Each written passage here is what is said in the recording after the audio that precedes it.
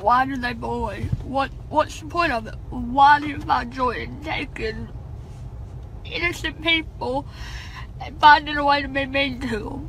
It's not okay.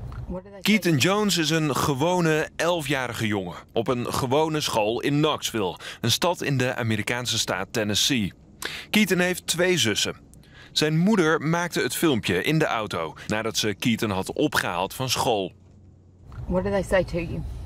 They call me, they make fun of my nose. They call me ugly. They say I have no friends. What they do to you at lunch? Pour milk on me and put ham down my clothes. Threw bread at me. Tijdens de lunch was hij gepest, opnieuw. En hij voelde zich daardoor zo slecht dat hij zijn moeder belde. Zij maakte de video op Keatons verzoek en zette het daarna online. Weer op zijn verzoek.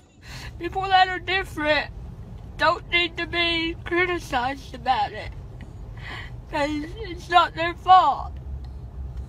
De video ging viral. Het werd miljoenen keren gedeeld. Veel bekende Amerikanen zagen het ook. Ze schrokken ervan en zetten hun boodschap aan Keaton online. Justin Bieber bijvoorbeeld. Dude. First of all, Keaton, I just want to say you are a legend. You're a beast. You're a boss. You're an icon. But I just want to say you're inspiring so many people um, with your message and your authenticity and your realness.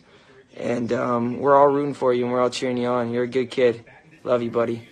Ook zangeres Rihanna schreef een bericht. Net als Demi Lovato, basketbalster LeBron James en topacteur Chris Evans. Blijf sterk, Keaton. Laat hen niet op je kop zitten. Kom met je moeder volgend jaar naar de première van de Avengers in Los Angeles. Keatons moeder schreef op Facebook dat ze de positieve reacties heel fijn vindt. Maar ze maakt zich ook zorgen om Keaton. But if you are made fun of, just don't, don't let it bother you. Just stay strong, I guess. It's hard. Zijn moeder roept alle ouders op om met hun kinderen over pesten te praten.